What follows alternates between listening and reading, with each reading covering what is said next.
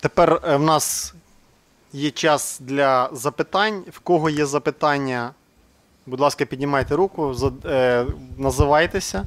І якщо е, комусь конкретно адресоване запитання, тому прохання вказати кому. Будь ласка. Добрый день, уважаемые коллеги. Э, Я Куцевляк Сергей, директор компании «Клиника Медстар» Харьков. У меня вопрос к Александру Рыженко.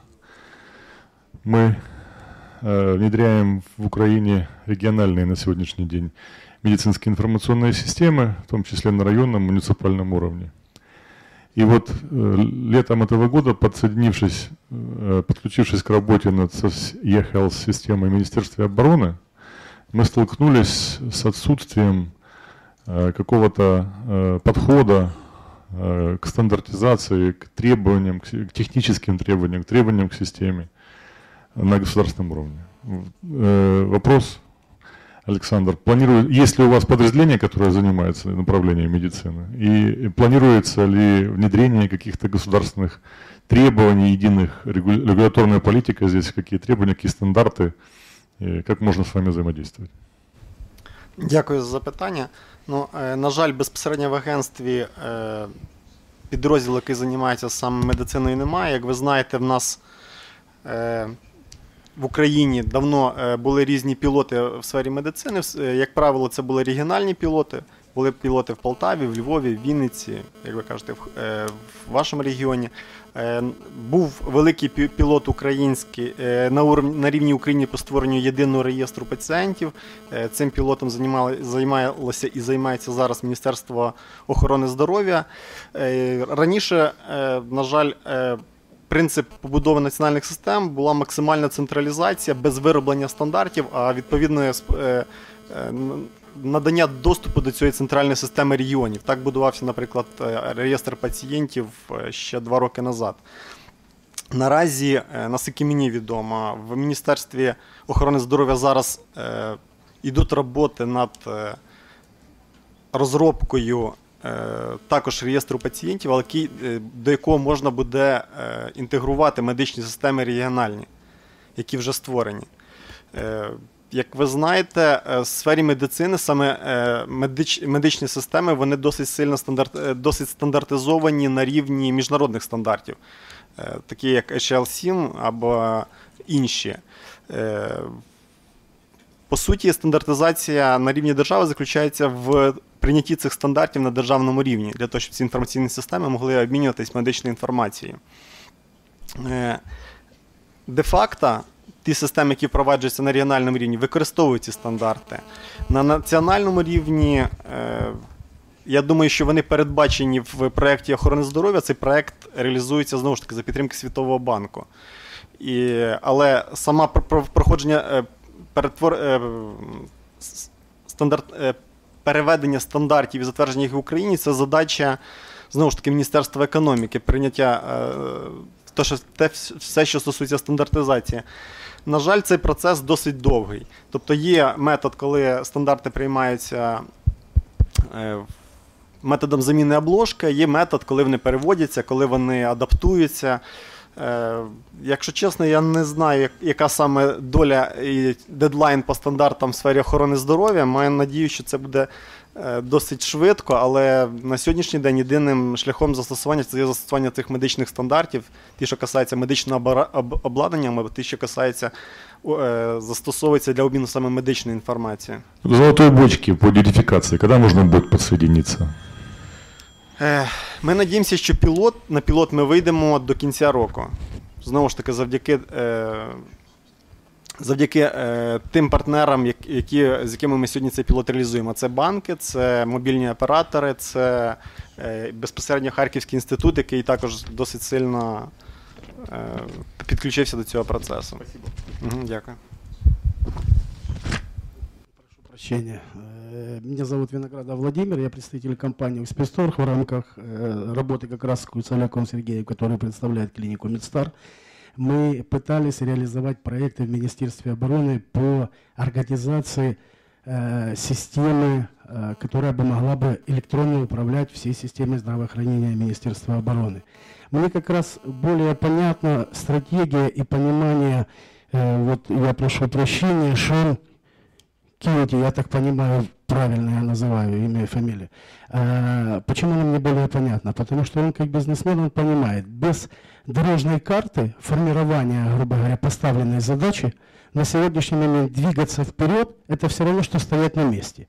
Потому что любая программа, которая могла бы и будет создана на региональных уровнях, она впоследствии будет подлежать стандартизации в одном каком-то ключе. Для того, чтобы как раз ваш департамент мог на сегодняшний момент использовать все данные, которые будут накапливаться в этой системе, для того, чтобы ими можно было пользоваться.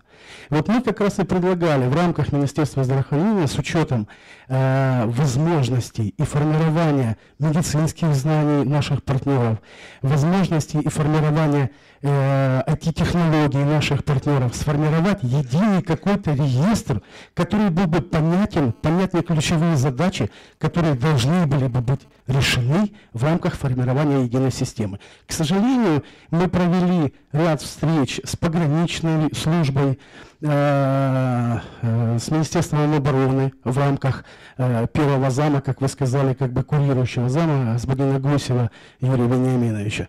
Несколько заседаний и как бы расширенных дискуссий именно с пользователями этих систем, э, с врачами, непосредственно оказывающими услуги, которые как раз занимались бы самой глобальной ключевой задачей по наполнению этой системы данными, то, о чем вы говорили. Мы поняли о том, что мы действительно на правильном пути, и мы очень заинтересовали данных сотрудников тем э, функционалом, который предлагался нашей системой. Но мы услышали на сегодняшний момент какую-то непонятную э, аббревиатуру и дискуссию, которая связывалась э, с целесообразностью сегодняшнего дня, включения каких-то частей единой программы без какой-либо стандартизации самого процесса внедрения этой программы, которые функционально должны внедряться сегодняшним днем, потом когда-то что-то будет доработано и впоследствии что-то будет сделано. То есть нет государственного подхода. Я так понимаю, что как раз ваш департамент и уполномочен заниматься государственным подходом к формированию единой стандартизированной системы. Вообще, в принципе, то, о чем говорил как раз товарищ бизнесмен, как он себя назвал, я двумя руками хлопаю, потому что я такой же, мне надо как бы понятно ваша как бы проблематика. Вы должны для начала знать, что вы будете делать, а потом приступать непосредственно к работе, а не делать, а впоследствии потом стандартизировать или иные вопросы каким-то как бы непонятным ключевым моментом. Поэтому мне бы хотелось как-то продолжить дискуссию, потому что мы тоже государственная компания, тоже учредили кабинетом министров. Мы потратили огромное количество времени для того, чтобы действительно сформировать единые стандарты по системе здравоохранения, которые должны перетекаться, перекликаться в рамках всех ведомств министерств. Не только Министерство здравоохранения, а Министерство обороны, Министерство чрезвычайных ситуаций, пограничная служба, потому что это все люди, это все пациенты, которые сегодня они служащие, завтра они являются гражданскими людьми, когда они вышли на пенсию, и они будут в различных службах и ведомствах, они должны управлять своей электронной медицинской картой для движения по различным, грубо говоря, как бы врачам. Они должны на сегодняшнем этапе каким-то образом давать доступ к своей, грубо говоря, информации. Не обязательно э, всю информацию давать тому или иному врачу. То есть ряд как бы технологических моментов, которые мы проработали, мы бы хотели, чтобы каким-то образом состыковаться с вами, предоставить свои наработки. Возможно, может быть, в Харьковском вот этом пилотном проекте мы бы очень хотели как-то с вами посотрудничать, обменяться как-то координатами, для того, чтобы попытаться скоординировать наши действия, возможно, наш опыт, который мы на сегодняшний момент действительно имеем. У нас есть конкретные предложения, конкретные рабочие IT-проекты, которые мы демонстрировали. Мы демонстрировали, как это работает врачам полностью всей, грубо говоря, э, медицинской службы МЧС процесс.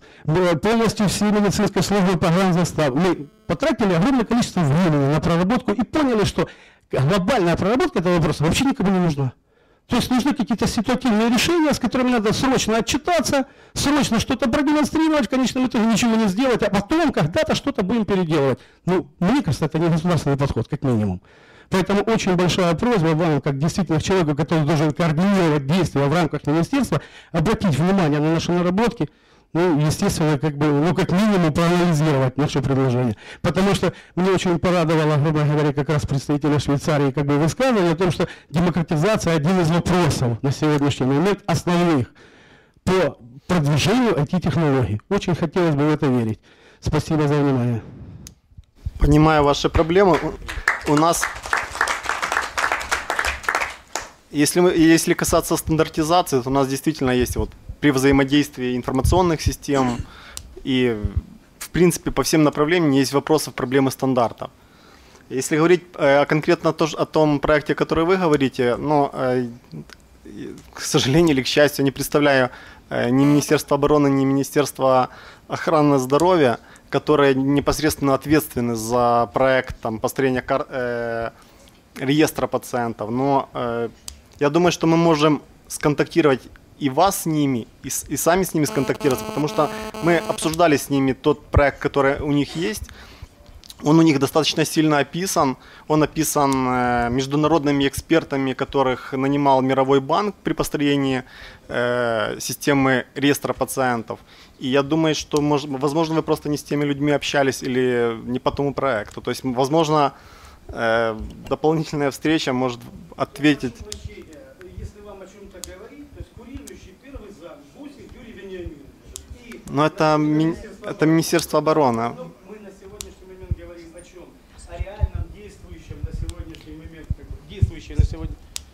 Ну, насколько мне известно, в Министерстве обороны сейчас реализуется проект э, по э, медицинской карте. Безусловно, там реализовывается проект, в рамках которого мы имели ряд дискуссий, ряд, грубо говоря, э, конкретных предложений, э, которые Министерство обороны не смогло опровергнуть в рамках как бы, тех чиновников, которые э, были на этих дискуссиях, в рамках тех врачей, которые будут применять тот или иной продукт.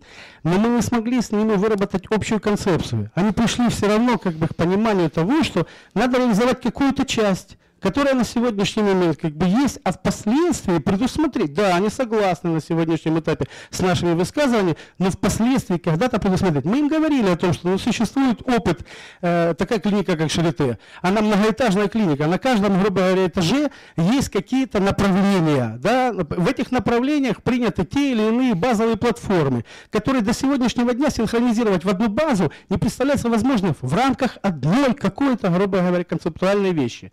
То есть то, о чем и говорится, вы же все равно, как держагентство на сегодняшний момент, должны потом систематизировать всю базу данных, которая будет поступать. Как вы это будете делать? Еще раз тратить деньги на то же самое? То есть фактически сначала мы сделаем что-то, а потом потратим деньги еще на то, чтобы синхронизировать каждое что-то.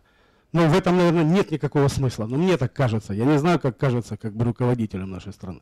Спасибо. Согласен, что в этом смысла нет. Но вы слушали э, рассказ о том, что сейчас пилотируется шина? То есть чё- какая основная задача шина? Задача шины это как раз связать существующий реестр. Задача новых баз данных, которые вы в том числе создаете, я так понял, это потом придерживаться вот этих единых требований к форматам передачи, к форматам интероперабельности. То есть шина, главная задача, это обеспечить интероперабельность и заложить основу для стандартов и для их внедрения. Поэтому я не до конца понял, если честно, ваш вопрос. Агентство четко сказало, что основная задача – отсутствие единой системы взаимодействия.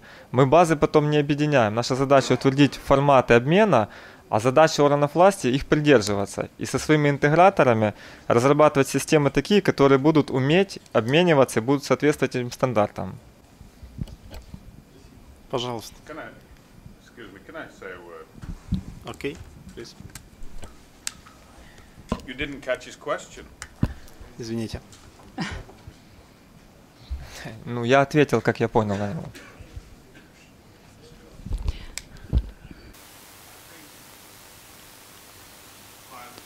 Значить, я думаю, мова йшла про пілотний проект, пілотний проект і пілотний проект. Ну, от, наприклад, сьогодні м, губернатор буде говорити про співпрацю між британською компанією, яка буде займатися реформою митної служби. Ви знаєте, так, про це? Не знаєте. Не знаєте. Я от дізнався про певні елементи електронного управління, які важливі для митного контролю. Мені з ним треба працювати. Тому що я з британської компанії, яка буде допомагати реформувати митну службу в Україні. Я думаю, дуже важливо для нас реформувати митну службу і на заході України, і на Сході, і на півдні. Але які елементи входять сюди? Система охорони здоров'я, громадського здоров'я і інші речі. Багато різних питань. Але ми можемо пілоти запускати багато, але цього достатньо. 23 роки ми пілотуємо речі. Я тут 19 20 років вже майже працюю в Україні. Достатньо вже про це говорити. Давайте вже щось фактично зробимо разом. Давайте вже припинимо пілоти запускати, давайте вже щось робити. Так, ми можемо це зробити. Ми маємо потенціал. От така мета. Ми маємо потенціал. Можно задать вопрос? Да, пожалуйста. Меня зовут Ольга Симпсон, я директор НИИ правоведения Национального юридического университета имени Ярослава Мудрого. У меня два вопроса. Первый к Александру Потию. Скажите, пожалуйста, вы сказали, что э, готовится законопроект по электронной идентификации. Когда мы его увидим хотя бы в виде проекта, соответствует ли он европейским стандартам, в частности, регламенту 2014 года по электронной идентификации, электронным доверительным услугам? И э, будет ли принят пакет изменений к законодательству, которые повлек- повлекут принятие этого закона, ну, в частности, электронной цифровой подписи? Это первый вопрос, если можно. А, Спасибо за вопрос. Значит, э, э, проект закона про электронный цифровой подпись и электронно-доверчие послуги сейчас уже передан в, э, в комитеты. Он зарегистрирован на там какая вторая На пленарная сессия, Совета. да, и на сайте Верховного Совета, Верховной Рады, он уже выложен в том виде, в который сейчас, э, в котором он проходит обговорение у комитетах. Там можно его посмотреть, почитать а, и работать. Естественно же, а, уже после, я так думаю, что я не знаю, какие планы там у Верховной Рады, но э, когда он будет вынесен на соответствующее пленарное заседание, если он будет принят, то это, естественно, дальше поведет к тому, что будут внесены соответствующие изменения в ряд других законодательных актов, которые связаны с цифровой подписью. Ну, на данный момент, пока у нас действует предыдущий закон, я надеюсь, что, наверное, к, к началу 2016 году, когда мы включаемся в ассоциацию по полном, ну, в полном объеме, этот закон будет принят. Тогда у нас будет не только цифровая подпись, но и доверительные электронные услуги. Мгм. А скажите, пожалуйста, это за- э, закон э, касается только одного средства идентификации, это электронные цифровые услуги? Потому что я поняла, там рамочный. э, Значит, этот закон, он э, максимально э, соответствует э, регламенту Евросоюза 914, максимально соответствует. Он Мгм. прошел соответствующие Мгм. экспертизы, в том числе Евросоюзе. Поэтому он, естественно, не является дискриминационным к другим видам идентификации. Он открывает путь для использования всех механизмов. В принципе, поэтому у нас сейчас такая бурная дискуссия технических экспертов идет, как это все, чтобы работало. Поэтому он соответствует этому регламенту и духу его соответствует. Поэтому Отлично, спасибо большое. проблем. И второй вопрос э, к Алексею Выскубу. Вы э, сегодня отдавали презентацию по закону об административных услугах, который предусматривает э, централь, центры надания административных послуг и единый адми- э, портал административных послуг.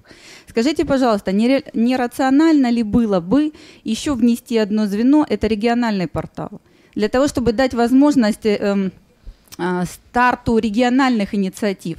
То есть Украина, она разная, и есть города, так называемые умные, да, о которых мы сегодня говорили, которые боль- более быстро могут адаптироваться и включиться в этот процесс. А закон, получается, сейчас немного сдерживает эту инициативу. Вот в Харькове, например, есть инициатива а, общественная по электронному правительству, которая тоже пытается как-то выйти с предложением по- усовершенствованию э, способа предоставления административных услуг. Спасибо большое.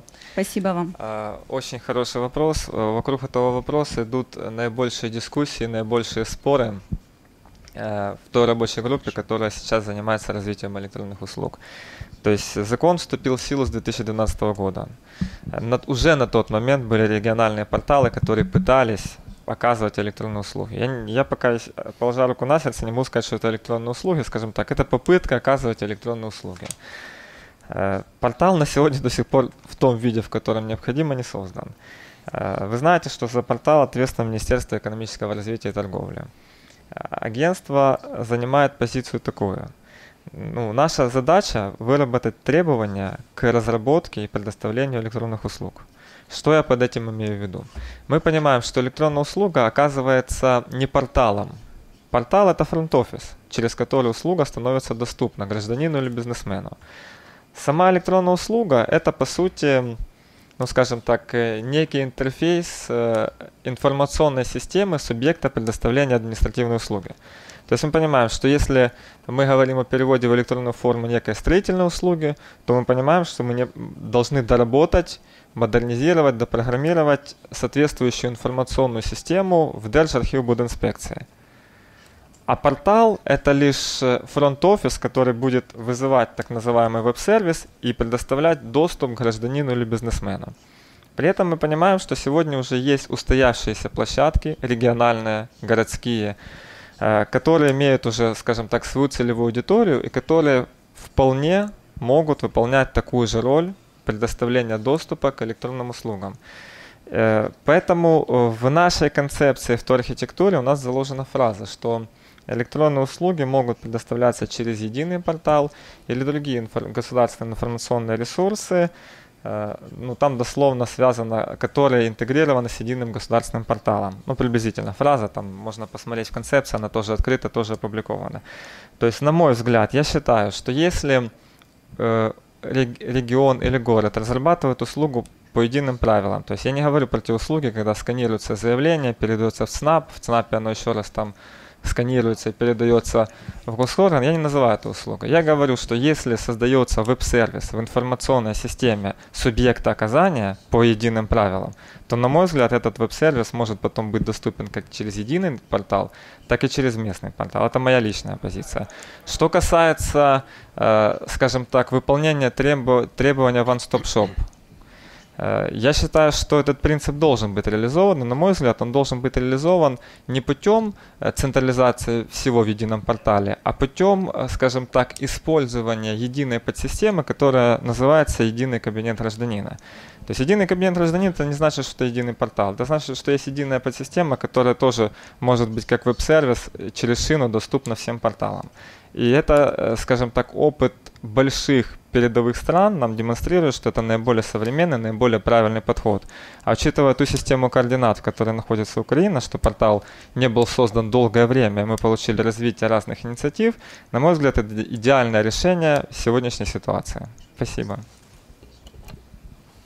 Э, Николай Самара, рабочая группа по электронному правительству Украины. Э, мой вопрос к Шону Келти будет э, так как времени у нас нет, я постараюсь коротко задать вопрос. Э, уважаемый господин Шон, э, про ваш пилот э, в Харькове уже слышно, если не ошибаюсь, около 6 месяцев. А когда мы можем увидеть вот первые результаты вашего пилота? Спасибо. October. It's Э, short этого enough to года. reply for you. А в чем будет э, этот... Start of October, we begin our pilot project. Окей. Пожалуйста.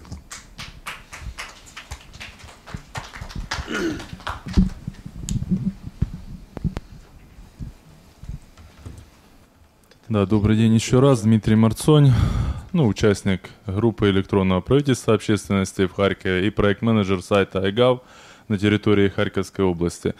Господа, ну я думаю, к Александру Рыженко вопрос. А, скажите, пожалуйста, вот мне хотелось бы поговорить о государственной стратегии все-таки реализации этого продукта. Я думаю, что большинство сидящих здесь, в общем-то, понимает правильные аспекты, куда нужно двигаться, аспекты верификации, перевода административных услуг, все остальное. К сожалению, на практике мы видим немножко, так сказать, другую ситуацию. Я могу привести пример по Харькову. Вот, например, даже по тем же порталам, да, то есть есть уже создан портал iGov, наверное, вы о нем знаете. Portis разрабатывает портал. При этом параллельно портал разрабатывает Министерство инфраструктуры. При этом ЦНАПы городские разрабатывают свои информационные ресурсы. На мой взгляд, есть определенный недостаток координации и наличия общей стратегии. Скажите, пожалуйста, есть это вот в частности первая часть, если это общая единая стратегия, куда это все будет насаживаться.